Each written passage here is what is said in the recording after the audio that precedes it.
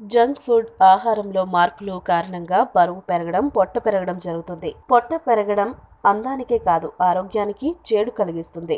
శరీరంలో మిగతా భాగాల్లోని కొవ్వు కన్నా పొట్ట మీద పేర్కొనే కొవ్వు చాలా ప్రమాదకరమైంది. దీంతో ఇది గుండె జబ్బులు మధుమేహం కొన్ని రకాల క్యాన్సర్లు రావడానికి దోహదం చేస్తుంది. కడుపుని పట్టుకున్నప్పుడు చర్మం కింద చేతికి తగిలే కొవ్వు కన్నా లోపల అవయవాల చుట్టూ పేర్కొనే కొవ్వు ఇంకా ప్రమాదకరం. అందుకే పొట్ట తగ్గించుకోవాలంటే ప్రతిరోజు ఉదయాన్నే పుదీనా ఆకుల రసాన్ని తాగితే సరిపోతుంది. దీనివల్ల మెటబాలిజం పెరిగి ఒంట్లోని క్యాలరీలు కరిగిపోతాయి. అందుకే ప్రతిరోజు పరగడుపున ఒకటి లేదా రెండు టమోటాలను తింటే కొవ్వు కరిగిపోతుంది. ఇందులోని తొమ్మిది ఆక్సోబోడియో ఏ పదార్థాలు కొవ్వును సులభంగా కరిగిస్తుంది.